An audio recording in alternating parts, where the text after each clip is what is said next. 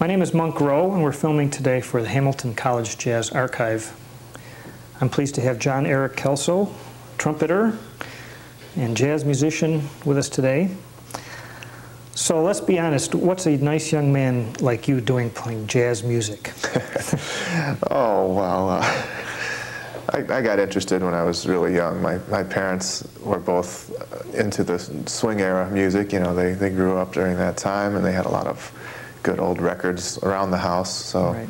when I was about 10 years old, I, I got interested in playing the trumpet. And then after I decided to play trumpet, I found out that my father was a trumpet player and, and had played, you know, in some swing bands and during the World War II days, you know, and uh, found some of his old records around and got, got interested in it.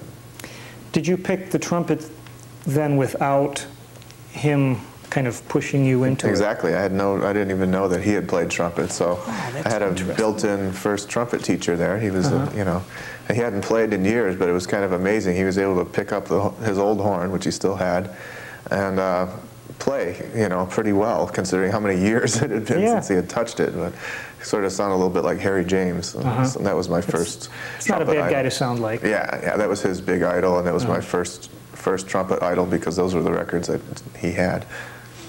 Well, it's perhaps fortunate he didn't try to push you into it because, you know, kids, he might have rebelled or something. And yeah, a nice I, coincidence you picked it on your own. Right. Yeah, it worked out quite well. Did he talk about what those um, experiences were like with you playing with the big bands? Well, he, yes, uh, he did. He, he never really got too far with it. I mean, he mm-hmm. played in just really when he was a kind of a teenager is when he did most yeah. of his playing. And, uh, and he, he picked it up and, and, started playing some gigs around Detroit, which is I'm from near Detroit, mm-hmm. and uh, he played with some German bands and some swing combos and big bands, and and uh, he, he talked about it. But he said he never really had the chops to really make it as a as a professional. He just right. was close, but no cigar. But he loved always loved the music, and uh-huh. after World War II, he gave up playing just to go into other professions, real estate, and different things like that. Yeah. Well, you had a pretty good, um, I read a little bit about uh, your school experience.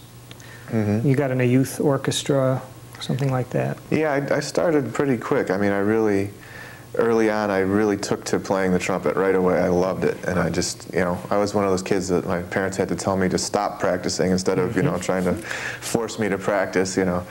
And uh, so I, I, progressed pretty rapid, rapidly. I practiced a lot. And, uh, I, I played in, uh, I was like when I was in elementary school, I, I would sneak over and play with the junior high band, or they would actually, they'd ask me to come over yeah. and play with them to help out. And when I was in junior high, I'd go and play with the high school band. When I was in high school, I was playing with the college band, you know. You were a ringer. Yeah, kind of, you know, and, and they, I had good teachers who, who knew that that was a good thing for me to push me, you know, as far as, uh, testing my limits and putting me in more challenging territory. Mm-hmm. And uh, I guess I was in seventh grade when uh, a friend of mine, Mike Karub, who's a cello player and bass player, his father was the junior high band director where I grew up. And uh, his father had put him, gotten him into this group called the International Youth Symphony, which was basically, I was about the youngest guy, and it was like junior high through college age. Mm-hmm people in, in mostly the Detroit and Windsor areas. And so I started playing in seventh grade in this group, the International Youth Symphony, which was a good youth symphony, very good. And the, the conductor of the Windsor Symphony, Matti Holli, was the conductor for that. And uh, that was quite a challenge because I hadn't played any orchestral music yet at all, seventh grade, you know. Right. And all of a sudden they're talking about transposing, reading, you know, A trumpet parts and C trumpet parts and E flat trumpet parts, and I wasn't even, had never even heard of that yet. So I basically had to learn a lot real quick, and I, wow. I, did well. I, I, always thrived on challenges like that. Hmm. I didn't know that that was still required in, from trumpets that yeah. they, do that kind of thing. Yeah, orchestral, it's, it's standard. And actually, the standard trumpet that they use in orchestras is a C trumpet, which is uh, oh. pitched differently than the, the standard band and jazz band trumpet, yeah. which is in B flat. So, yeah, almost everything was transposing in that. So, so that was a good experience. And uh, how did you get into the improvising end of things? Well, I got interested in that pretty early because uh, like I said, I started playing when I was 10, and right around the same time, I, I was getting interested in my parents' old records, and uh, and you know, I'd ask my dad about what what's going on, what is this? You know, I wanted to know more about what was happening, and he'd explain to me when things were written out and when things were just guys taking a ride, as he liked to call it. You know. Yeah. and uh, so I got interested in that, and uh, my friend Mike Karub and I, like I said, we were pals and interest, getting interested in this music at the same time. He was always like one step ahead of me, like because uh, his father was a band director. His, his father was, would say, "Hey, well, you should listen to this record," and then he'd he'd call me up and say, "I've got this record. I think you might like. It's a guy named Louis Armstrong. You know, it's like yeah. it's a little bit older than the stuff you've been listening to. Uh-huh. I think you like you'd like that. You know." And so we'd get together and listen to these records, and our parents would sort of give us a little steering in the right direction as far as telling us what was going on and Excellent. It was fascinating, you know. Can you recall what uh, Louis Armstrong you first heard? Which part of his career? Hot Fives, yeah. Well, that's a good place to start. Yeah, yeah, exactly. and I have to admit, when I first heard it, I kind of didn't know what to make of it because I was so, I was really the only stuff I was familiar with at that point, you know, being fifth grade, you know, was uh, in, Benny Goodman and, and Harry James and Count Basie, and which which I love that stuff. And to, he, to hear this, at first I hadn't heard anything that old at all of anything, and so the the surface noise it had kind of a bad LP copy of it. It was like it was a little bit of work to listen to, but I knew it, it was hitting me hard though. I mean, I knew mm-hmm. that this music was very powerful and great, and that you know he was a great player, of mm-hmm. course, you know. But I just it took me a while to really start getting into listening to music from that early on because I was sort of just it was it was a little bit harder to listen to for me at that time because of the, the surface noise and all that. Yeah, it's hard to get past that kind of the limited technology that was that they were mm-hmm. using at the time, but it still sounds funny to hear you say that being in fifth grade, I was only familiar with Benny Goodman I know, I, I, know. It kind of probably sounds funny. Not too many fifth graders these days, uh, or even in when I was right. in fifth grade, were really interested in that. We were considered pretty weird by our classmates for, for this being interested. This was, let's see, 69 or 70. No, I, I was born in 64. Okay. So, I guess 10 years old, 74. Oh, that, okay. So I'm trying 75. to think what, what the pop music at the time might have been oh like Elton could John have influenced and, you. Oh that influenced me? Or that I mean did you get into pop music also? I mean to an extent yeah. I, I mean I wasn't a total jazz nerd but uh, but yeah I mean there was there was uh, I, I, liked some of the Motown stuff because my sister uh, was a bit older than me and had a lot of Motown records around the house mm-hmm. and so and some oldies rock we had around yeah. the house you know like stuff again, is stuff that was before my time, but that was some of the things that I was interested in as far as pop music. What about, um, did you happen to get into groups like Chicago or BS&T that had yeah, I, sections? I did like those. Yeah, I've yeah. always I've always enjoyed those kind of groups yeah. too. You know, it's fun music. You know, good, they always had good horn players. But you were still a jazzer from.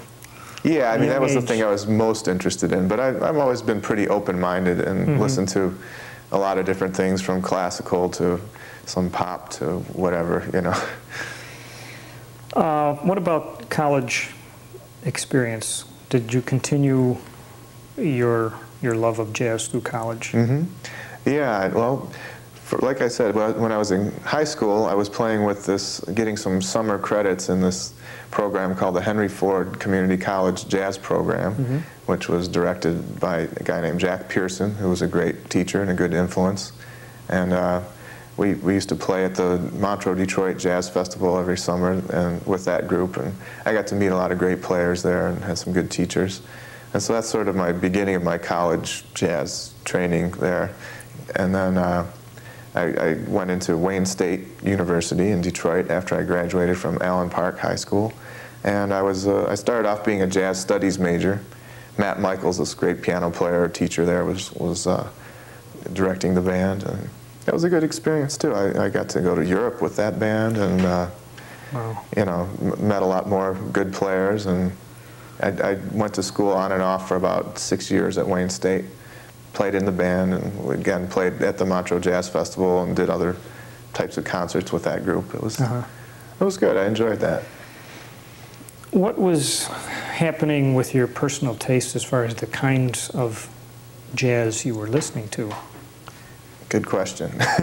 I've been through a lot of phases, I guess Yeah. you could say. You know, like my first listening experiences were the swing era. Then I started sort of going backwards from there and learning about listening to Bix Beiderbecke and Louis Armstrong, and and also then getting into like the Eddie Condon groups with Bobby Hackett and Wild Bill Davison, and then. Uh, I kind of proceeded. I sort of jumped a little bit, and then I then I my dad had one Miles Davis record, and I listened to that, you know, and, and I thought, wow, this is just a completely different way to play the trumpet. But I liked that too, you know. So I so then I started buying all kinds of Miles Davis records, and from that. I learned about Charlie Parker, and then from that, you know, I just one thing would lead to another. You buy one record, looking at looking for one particular guy, and then somebody else on that record, you know, opens your eyes and you say, well, now I got to get this guy's records, and so, Yeah. so I've, I, I went through uh, in high school. I started to go through a period where I was buying a lot of bebop records. I like that too, and started to play a little bit of it, you know, with groups kind of trying to play that kind of style, and uh, Uh-huh.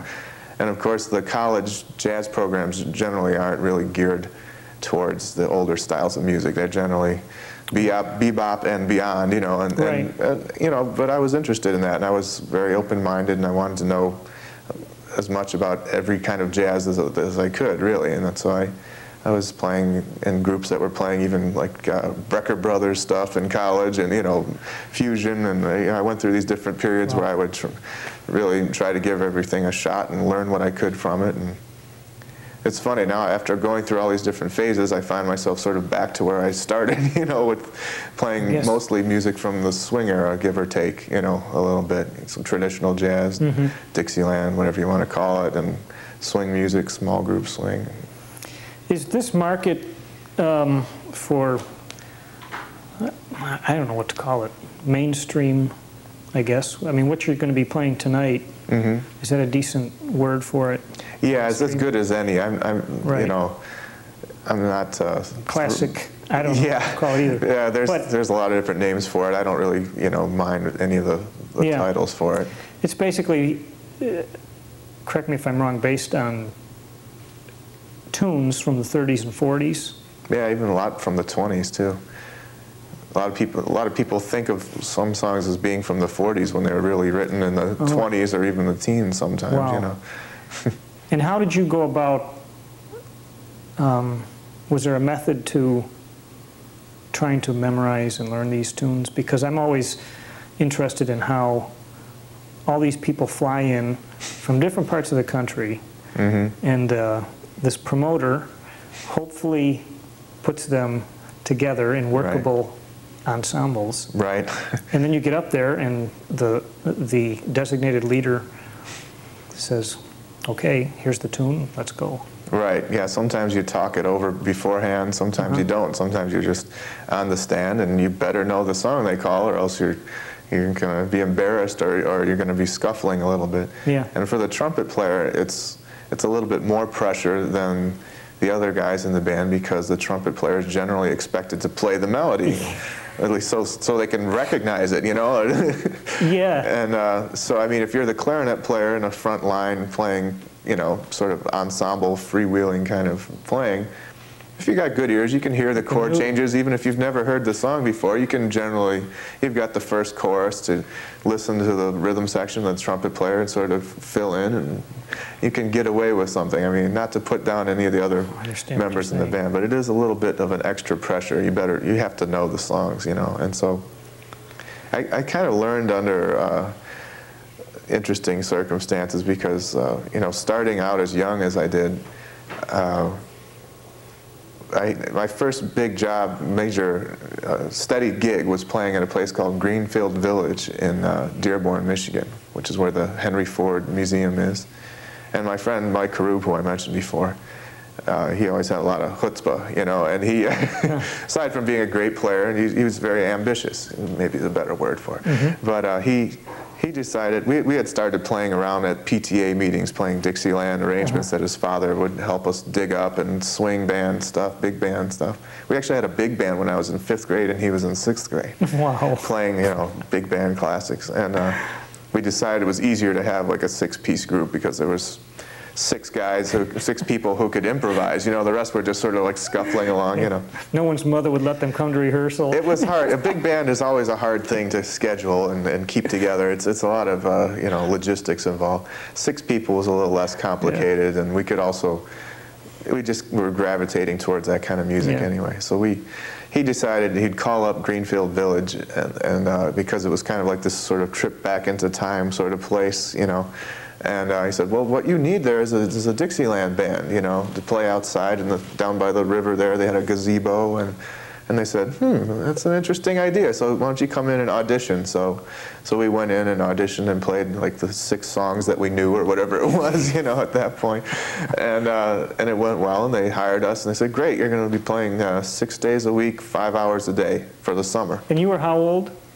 I was, uh, I'm trying to remember, I was either going into seventh grade, no, going into eighth grade, I think.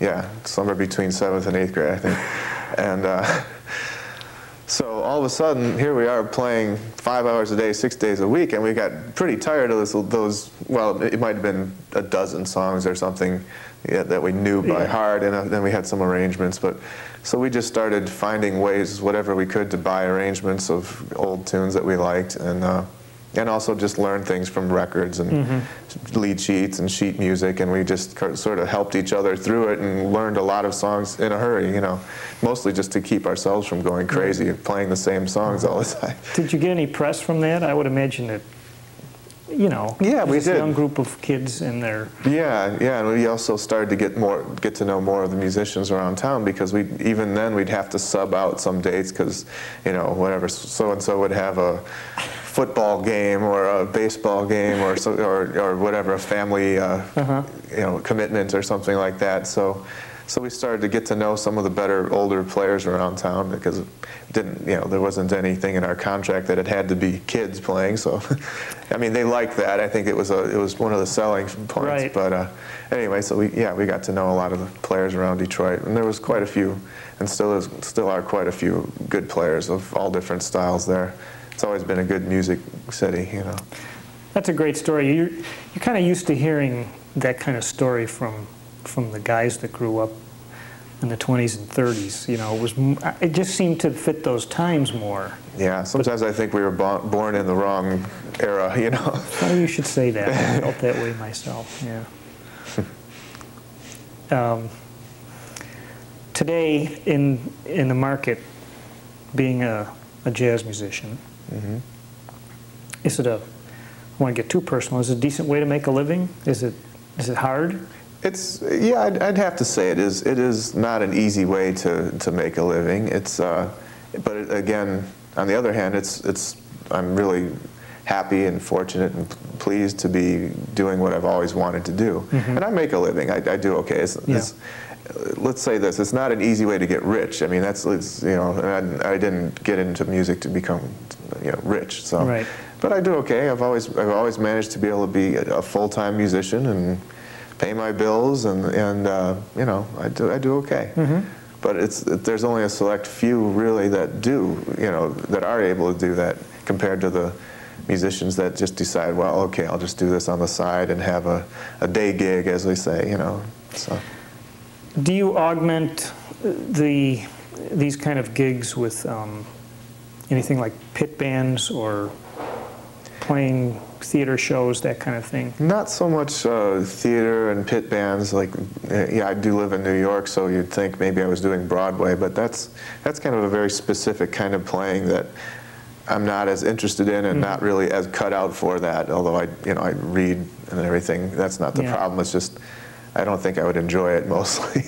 but uh, I do. I have always done all different kinds of gigs in that I'll do private parties, which could mean weddings or anniversary parties or uh, things like that, uh, dances and and. Uh, Oh, any number of things. I mean, you know, all kinds of little industrial events. Sometimes they'll hire a Oh, band right. to play, and uh, you know, all different kinds of things like that. And I have played like shows behind uh, singers and groups. Back when I lived in Detroit, I used to play in, in bands. They, the Motown groups would come through town and use local horn sections. They'd have their rhythm section that they'd travel with, and they'd hire local horn horn players, and that was fun. You know, I got to Right. play with. Uh, you know the Temptations and the Four Tops and uh, Martha Reeves and the O'Jays and groups Right. like that. You know, and that was fun. They were all re- always very professional, nice guys, Mm-hmm. and they. I think they really appreciated the Detroit horn sections because most of us had grown up with that music and we, Oh, and we knew how it was supposed to go. They didn't have to go through and rehearse too long with us, you know, and there was always good Looks players. good on your resume too, huh? Yeah, yeah, I, yeah, I played with the Temptations, you know. Except the people at this, at a party like this, an event like this, probably wouldn't be as excited about that as the younger folks. They say, "What is this, rock and roll?" You know. Yeah. So yeah, I've always done kind of a, a variety of gigs, and I, that's one of the things I like about being a musician is that it's I'm not always playing with the same people and with, at the same kind of place, and I, I kind of like the challenge of doing a variety Right. of kinds of music. Have you been able to uh, kind of play alongside some of your influences or heroes? Yeah, that's a that's a good one. yeah, I, I was very fortunate. I mean, aside from meeting the the local heroes around Detroit and playing with some of them, uh, which were probably mostly names you might not know, but you know, was a thrill. Every year I'd get to play with better and better Uh-huh. musicians. Uh, one of the first ones I got to play with, uh, there's a guy named Tom Saunders in Detroit who's a very great cornet player, and uh, I used to go and hear him when I wasn't even really old enough to be in the bars that he was playing in, but uh, we'd go and hear him, and he, he introduced me to Wild Bill Davison. He was sort of a protege friend of Wild Bill's, and he used to bring in Wild Bill to this club that he played in in Detroit, Detroit area, uh, whenever he could. And sometimes he'd have him in town for a week or two weeks or something like that, or just one concert. And so uh, he put on a concert called Three, Four Generations of Jazz Cornet. And I was the young generation. There was a guy from Boston called Paul, uh, named Paul Monat, Paul Monat, who was maybe in his 30s at the time, and then Tom was in his 40s, maybe 50s at the time, and then Wild Bill, who was I don't remember how old he was at the time, you know, pushing 80, I suppose. Yeah, Well, I'm, I'm not sure. I'm, but uh, you know, that was when I was about 17 or 18, I think, when we did that. So that was a thrill. Got to meet Wild Bill, who was one of my favorites at the time and still is.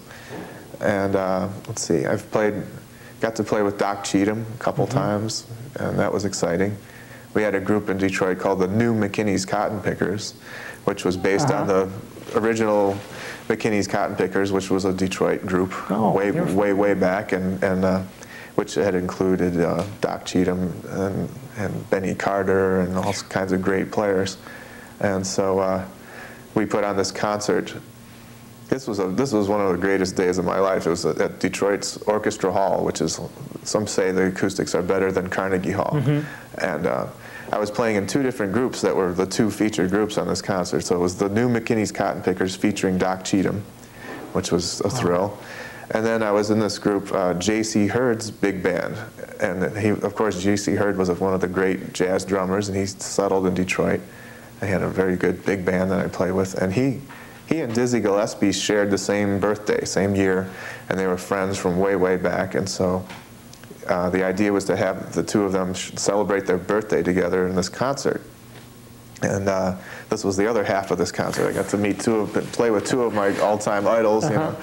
And uh, so the the sad part of it was J.C. Heard passed away the night before the concert, which was a shock. He was going to be 72, I believe, and. Uh, he was we had played with him two nights before and he was in great shape and full of energy and playing great no signs of any health problems he just all of a sudden had a heart attack and that was it and uh, i'll never forget how well dizzy gillespie handled this And- and he uh, we did the concert with one of jc's proteges guy named billy cairo drummer in detroit and uh, Dizzy managed to pay tribute to JC, his old friend, really nicely, and, but also make it a happy thing and remember the good times and tell some funny stories and just made people feel good, you know, instead of it being like this whole Downer. downer, you know. So that was a that was a real exciting thing for me. He certainly had that knack of making people feel good. Yeah. And also, he, the other thing that was exciting about that was uh, we were playing mostly Dizzy's, or maybe entirely Dizzy's arrangements, his old big band arrangements. And we, and we had an extensive rehearsal with him, and uh, you know, having him show us how his these compositions were meant to be played was really enlightening and, and fun, you know. But he was serious about it. He, you know, he could joke around a lot, but he was serious about the music, you know. And he was especially hard on the drummer, I'll say, who was a good drummer, but he's, you know, there was a lot of stuff that you don't write into the chart that Uh-huh. you just you have to know. and he was, he could be very specific. He knew a lot about drumming, and also, you know, Right. he was going to be filling some big shoes, stepping in for J.C. Heard, so he wanted to make sure that uh, this guy did did a good job, and he did. Seems like I read somewhere that he even taught Art Blakey to play drums or something like that. I wouldn't doubt that sure he at least at least had some things to share with them to Yeah. you know help him because he was he was one of the first guys into the uh, you know Afro-Cuban influence on jazz and. Yeah. combining those things together, and he I think he taught a lot of people stuff about that. You Uh-huh. know. You're probably familiar with what they said about you, but I wanted to get your opinion on it. Said, uh, regarding this particular tune, he says, Kellso tips his horn just a bit in Bix Beiderbecke's Beck's direction. There are also occasional nods towards Billy Butterfield's lyrical constructions and Wild Bill Davison's ruminating low notes. Did you know you were doing all that? Well, it wasn't s- entirely conscious, but I have to say that's I'm, I'm, I'm you know honored that he said those nice Uh-huh. things. I think, you know, those are certainly some of the people that influenced me Right. a lot, and especially when when playing this kind of music, you know, in that kind of setting. Yeah. So uh, yeah, he was on the ball. Who, who was that? Was that I'm Floyd glad to hear you say that because sometimes you, um, Floyd Levin, yeah. Yeah, he's a good writer, good Yeah. guy. But yeah, Sometimes you wonder um, when you read things that the critics or record reviewers write, uh, if the musicians really agree with it. You know, yeah, it's sometimes they're right on, and they you know they see things as musicians do, or close to it, or they can mm-hmm. describe things in a very good way, which is a hard thing to do. Putting, you know, describing music with words has always been a challenging thing. So I, I have Yes. to give these guys some credit and give them a little leeway. But yeah, there's times when they they come up with stuff, and it's like, what is he listening to the same thing that I'm listening Uh-huh. to? Or they read a lot into things sometimes, and but you know he he's one of the good ones, and uh, yeah, that's I'm honored that he'd say those things about me. Well, I like the the fact that you um, on your little breaks that you had in there that you didn't choose to just fill them with a million notes like sometimes young younger players do or Right. That's what Cale Collins told me this morning. And Uh-huh. He said, Yeah, that's true. Yeah, I, I, I like to play a more kind of a lean style, you know, Mm-hmm. and uh, just try and make the notes count a little bit more. You know, the ones Uh-huh. that I play. I've never been much much of a player for trying to play a zillion notes, you know, and I think Mm-hmm. especially in the the older styles or whatever you want to call it, swing or, or traditional jazz, it's it's less appropriate anyway. You know, it just doesn't sound right when the trumpet player is playing a zillion notes, and especially when you're playing in the ensembles and the lead, playing the lead melody. It's really, uh, you know, I learned early on from some of the older guys beating it into me, you know, Yeah. saying, you know, if you're going to be playing during the ensembles, if you're playing the trumpet, play the trumpet part, and don't don't play all the fills. You know, there's two or three other horn players around you who are have their roles to do, and so if you can just play a nice, simple, tasteful melody that leaves leaves holes, leaves space. That's that's one of the best early lessons I learned from the guys around Detroit, and I try to remember that. You know, right. that's what makes it work. You know, everybody has to do their part and leave room for the other guys to do their part. so, something I try to think about. Yeah, you have to think about the context that you're in. Mm-hmm. This particular album had um, was more arranged than Mm-hmm. some of the. Well, here we go with words again. Yeah, right. Classic, whatever I've heard, and Mm-hmm. um, was the Rick Fay's arrangements or No, Rick Fay's the, the leader on this. Uh, Yeah. it's, it's called "This Is Where I Came In," Yeah. right on Arbors Records. Yeah. Uh, Dan Barrett was on that. I think that was that was Dan Barrett's arrangement, which was uh, taken largely from the Bix, one of Bix Beiderbecke's versions of that Uh-huh. song. And uh, he did a lot of arrangements on that album. I think Marty Gross did some. Yeah, Marty Gross did do some arrangements on that album as well. A lot of those guys are here. Marty Gross, Yeah. Dan Barrett, Great. Hal Smith is here. Uh, tell me, were you nervous?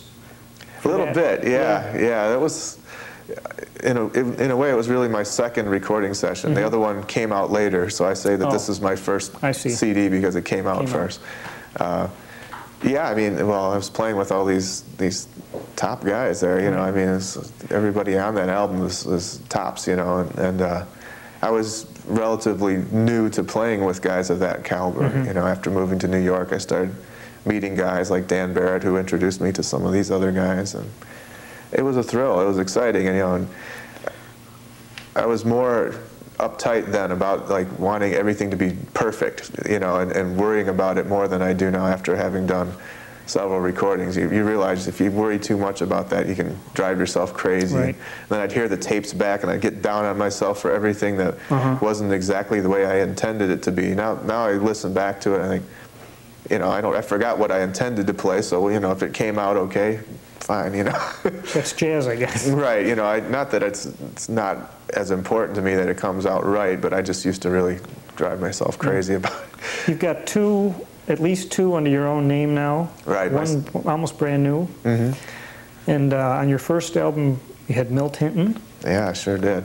It must have been a, a good experience. Oh boy, yeah, he was. Well, he was the highlight of that session to me, which was full of, uh, you know, great musical moments and playing with great guys. They were all, again, they were all top-notch guys. And yeah, Matt Domber of Arbors Records was great because he he asked me to do this CD after having done a few as a sideman for him, and uh, of course that was a great thrill and honor. But and also he really left it in my hands to pick the guys and the tunes and the studio and the engineer. And so I really got to do it my own way and write some original tunes and ar- arrangements.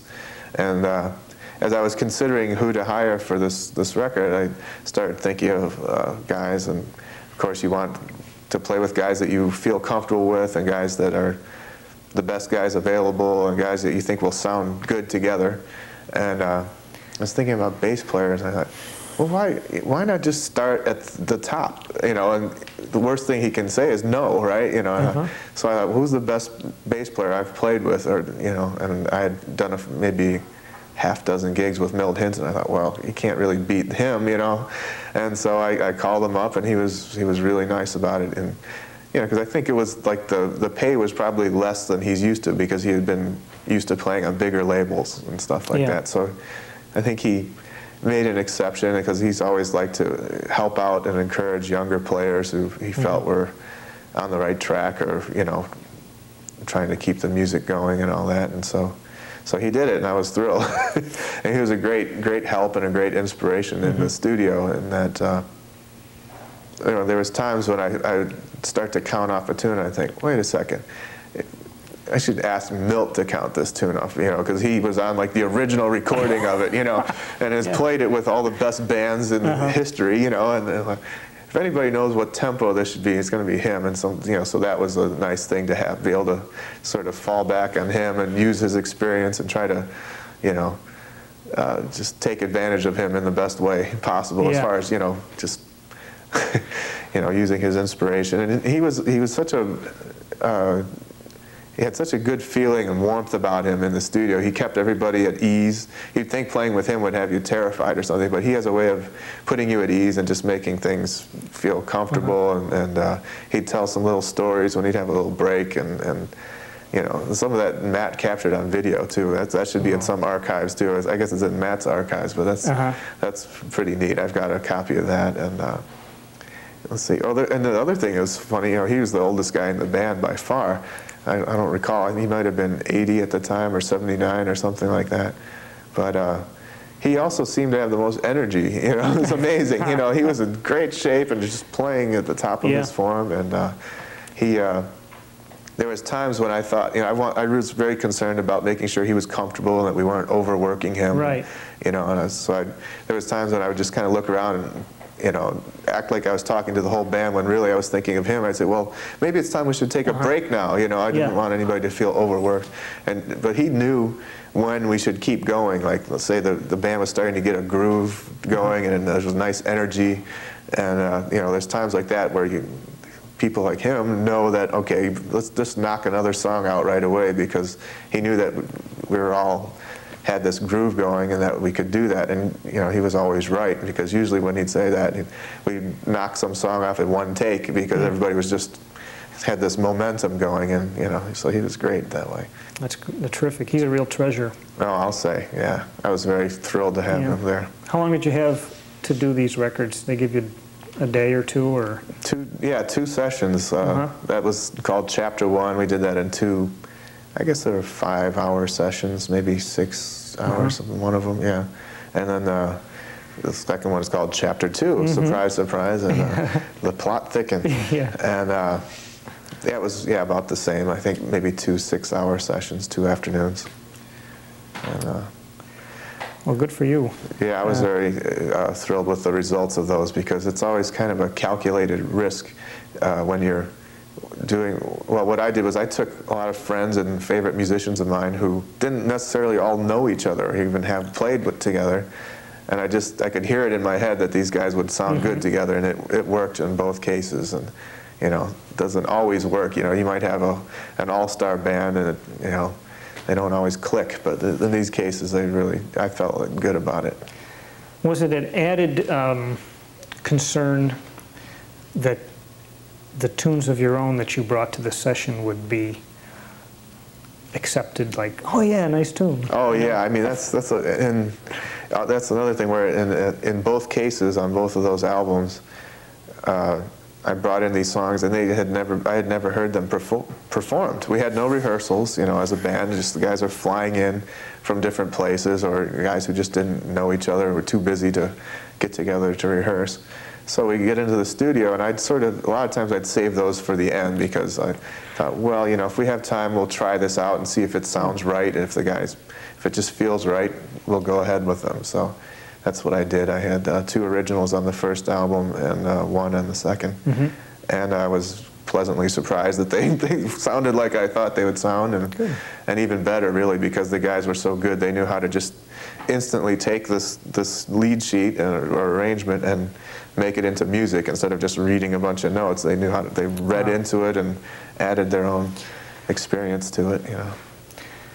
I've heard that uh, some some record people that that is a, a little bit of a risk to put a lot of original stuff because sometimes people pick it up and they buy it because they see Sure. tunes they know. Yeah, I mean, even I even do that sometimes. You know, there's there's there's times when I look at an album and I see all these these original songs that I've never heard of, and uh, sometimes I might opt for the one that has some songs that I, I know or songs that I want to know. A lot of times I'll Ah. buy CDs because I want to learn a song. Sometimes I'll look for a classic version of it. So I can kind of understand that, but at the same time, it's nice to to hear originals and you know keep that kind of spirit going in Right. jazz too. So, Someone's got to write the tunes that will be the standards in you know, Exactly. 20, 30 years from now. Yeah, so I, there's got to be a balance there somehow. Right. Yeah. So I, I just put a couple in there, so I don't think people mind too much. if they don't like those tracks, they can always Can just skip. yeah skip to the next. can program the CD. um, what's your take on the racial atmosphere in today's jazz scene? Hmm. Well, Is is there one that that is uh, prevalent or or not? well, yeah, it's it's kind of a a strange subject because I think there's a lot of sort of cliques, and it's I don't think it's always necessarily that the guys don't want to play together as far as blacks and whites, but I think for some reason there, there ends up being sort of a little like a scene of guys or a clique of guys who are together, and then there's this other clique playing playing together, and uh, surprised I'm surprised sometimes at how you know, often I'll play in bands that are all white, you know, and it's not, and uh, you know, the guys are all, you know, open-minded Yeah. people who are not prejudiced, and uh, it's, I think it's a funny thing. I don't really understand it. I feel very fortunate that I grew up in a family that was really not prejudiced and, and put those feelings into me as a kid, and, Yeah. and uh, you know, brought me up to feel that way, and. Uh, I, I think it's kind of weird, and it, I don't think. I think a lot of things. There are, there, of course, there are prejudiced people out there, musicians and not musicians. But uh, you know, and it's always seemed fun to me, funny to me how few black people you see at these these jazz parties on the stage and off the stage, you know, because uh, Right. especially when it's more towards Dixieland or traditional jazz, whatever you want to call it. Uh, I don't know. I think it just sort of became not the cool thing to do among black peoples. I don't. I don't really understand Right. it exactly, but you know, There seems to be very few black musicians playing this, uh, well, especially Dixieland, Mhm. probably down in New Orleans and so forth. But when you go to the um, some of the festivals that have a lot of the Dixieland bands, um, it, it's turned more into a, well, it, it's changed. You know, they have the costumes and all that, and, you know, with some of it. And, right? Yeah. I.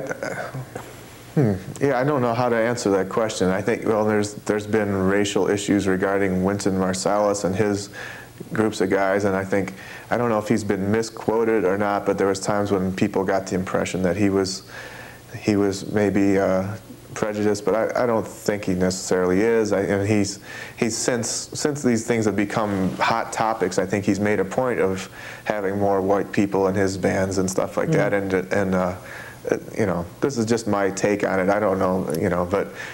It's, it's, it's kind of an icky subject to me. It is. I, I don't even like it to doesn't think have a about good it. answer. Yeah, and it's probably it could be an answer we don't want to hear too. yeah, right. Yeah, exactly. And uh, yeah, I think uh, just maybe the term Dixieland probably turned a lot of black people off. You know, the idea of Dixie and the South and the bad connotations of, you know, way back, way down home in Dixie and all that. I, I don't know. Maybe that's part of it. Could be. I don't didn't know. Think of that. But Yeah. uh, Did you notice in your, uh, as long as we're talking about that, uh, your listening habits, could you tell a difference between New Orleans classic jazz and Chicago? Was there a difference in, in your eyes and your ears? Yeah, I think that's a that's a tricky one because these these uh, labels sometimes are misused and misconstrued, and well, labels in general just can cause uh, confusion, you know, as much as they can clarify. And uh, I think a lot of the music that they call Chicago jazz uh, is really New Orleans guys taking their music to Chicago and meeting guys from Chicago and from other places, and sort of it changed. It certainly changed some, but you know is Jelly Roll Morton's music that re- he recorded in Chicago, Chicago jazz or New Orleans jazz? I don't know. What do you want to call? You know, and then there's uh, you hear recordings that were actually made in New Orleans, and you know they, they had a certain flavor to them, and uh, you know there certainly was more more of an emphasis on ensemble playing and less solos. And after Louis Armstrong and Sidney Bechet started uh, making names for themselves as as these brilliant soloists as they were. Uh, you know, I think more in Chicago, it sort of became more of an more of an emphasis on the solos, and uh, they, there was still an ensemble, you know, going on, uh, an emphasis on ensemble, but there'd be a lot more solos. I'd say if there's really one difference, that would be the major major difference, you Yeah. know. But uh, it's it's a little blurred, you know, because a lot of those guys were were patting, patterning themselves after New Orleans musicians and New Orleans bands, but they'd sort of come up with their own way of doing it, you know. So Tough. It seems like every time you make a statement about jazz, you have to say, but yeah, then there was this. And, Right. you know, it, it's, it's a music that has moved through so many things so fast. Mm-hmm. Uh, I don't know. And you, you seem to have listened to almost all of them. well, I've tried to do my homework, you know. it's all interesting to me, so I have a zillion 78s and records and Uh-huh. CDs at home, and Well, if we were to do an interview every 10 years, um, you have any career goals in mind that, you know, 10 years from now we'd be talking about the fact that you have done what? Well, uh, I'm pretty happy with the way things are going. I've already gotten to do two albums of my own, and I've played with some of my heroes. And uh, uh, it's not that I've done it all yet, or I don't mean that, but I'd, I'd like to continue to, uh, to, to do more work as a leader, perhaps, and do more albums as a leader, as well as playing with more of my heroes and just making great music, uh, the greatest music I can, and uh, trying to put music out there that people want to hear, and, and maybe, come up more and more with some of my own ideas and ways of playing it that, you know, increase, increasingly have my own voice, basically, you know, Uh-huh. and, and uh, wouldn't, wouldn't mind making a little bit of money along the way, too, but uh, Can handle that. I know people don't like to think about musicians thinking about that, but I wouldn't mind having a little bit more money in the bank. That Don't you just do it for the love of it? Well, mostly, yeah. Mostly. yeah. Or else I would have maybe been a stockbroker or something if I if I was really concerned about making money.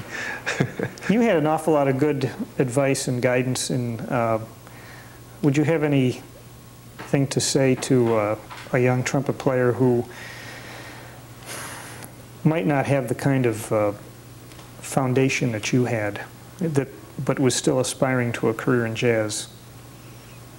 Nothing yeah. like ending with an easy question. no, that's that's a good one. It's something I've put some thought into. Uh-huh. Having I've had some students, you know, Yeah. Occasionally have private students, so it's something I've thought about. And uh, I think if you you know, for a young aspiring jazz trumpet player. Uh, of course, you got to listen to some of the great records and do your homework. As I said, you know, go back and listen to Louis Armstrong and, and you know, listen to the greats throughout history, and uh, you know, put it together in your own way, you know, and also, to, I think one of the most important things that a lot of young musicians don't really catch on to is they just need to get out and play as much as possible with groups, because there's guys who go through high school and college and most of their playing is done with their J- Jamey Aebersold play-along records, which can be a useful tool to practice with, but they're not used to playing with other musicians, mm-hmm. and they don't. They go out and play a gig, and they might as well be playing along with a record. They're not interacting, which is one of the big joys and important things in jazz that some people overlook or forget about.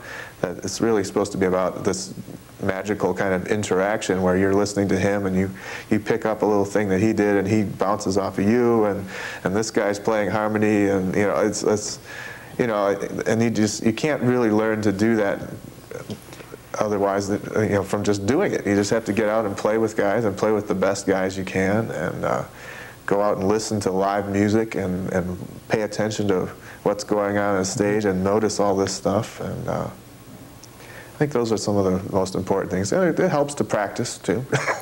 Yeah. Learn the foundations of your instrument. You know, you really, you know, I, I'm, I feel very fortunate. I had a good, good background as far as good private teachers and, uh, you know, a bit of a classical background. So I was studying that at the same time I was studying jazz, really listening to the records and learning solos off of records, trying to get inside the the heads of these greats, you know, and, and sort of Yeah. learn a solo and analyze how the how do these notes that he played relate to the melody and relate to the chord structure, and uh, you know, just trying to figure out what what was he thinking. You know, you have to just sort of try and get into their heads, and then not necessarily end up being a copy of them, but learning from you can learn from even the deceased great jazz people and get a private lesson from them in a way by doing that. You know. When you're improvising, are you thinking about the chords that are going by? Just, I mean, That's a good question. Yeah. Um, I think it sort of depends on how well I know the song. Sometimes, you know, when I when I'm improvising on a song that I'm familiar with, I'm not really thinking about the chords because they're just sort of I know them. I understand how the song is put together, how the chords fit together, and uh, I'm thinking more about well, really, I guess the best answer is when you're really improvising, you're not really thinking in a way. It's like it's hmm. more of like a Zen kind of thing, really. It's more like you just sort of you've you've done your your preparation, you know the songs, and you're just sort of in the moment. You know what I mean? You're listening oh. to what's going around around you, and and you're thinking maybe about the melody, or maybe you're thinking about what the guy the previous solo, what he ended with, you might just start with that idea and elaborate on that, or uh, try. You're basically just constructing a new melody. I try to think more melodically than chordally in my solos, and just think of you know making a melodic line, you know. But there's times when I don't know a song very well, which might very well happen here. It always does.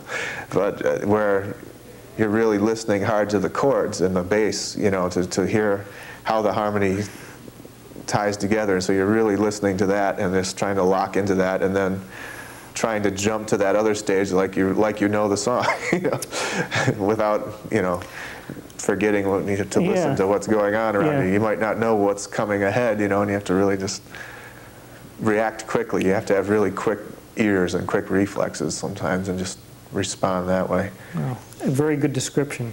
And you hope that the bass player and the piano player know the tune. That can be a real problem. I've had those gigs where you know there's the blind leading the blind, and Uh-huh. it can really be can be a disaster. But you know, hopefully you have a leader who's going to be smart enough to know, you know, what's what's Right. safe, Right. what would make sense, you know, as far as songs that will come off. Right. Doesn't always happen, but of course we always take risks in, in jazz. You know, Yeah, that's part of it, and you, you know. There's a lot of times when at least somebody in the group doesn't know the song as well as he'd like to, but like I said, you, you hopefully develop your ears enough so that you, you have these fast reflexes and Yeah. you can respond to that. I think there's a certain amount of trying to make the audience think you know the song, even though mm-hmm. that oh, you're Oh, sure, not- yeah. Maybe yeah, I know this song, sure. Well, you never know. Sometimes the, the, the, the comments you get, people say, "Oh, that was really, really great," and you're feeling like, "Whoa," you know. Yeah, you I didn't really know what I was doing. You're there." wiping the sweat off. Like I guess I pulled that off. I don't Yeah. know. You know. Right. Yeah. Sometimes you feel like it might have been horrible because of the feelings going in, inside you. Mm-hmm. Like you were just like barely holding on. When you know, if you're professional, a lot of times you can you can Yeah. play it off. Right. it happens. Yeah. Right. well, I've really enjoyed talking to you, and I, I wish you the best in your your career. And we'll do this again a few years from now, maybe. Sounds and, good to me. I enjoyed what's, it. What's going on? I enjoyed talking to you too. You had great questions. Well, on behalf of Hamilton College, I'd like to thank Jon-Erik Kellso for being with us, and hope you have a great uh, gig and no one calls too many tunes that you don't know. Thank you. Okay, good luck to you.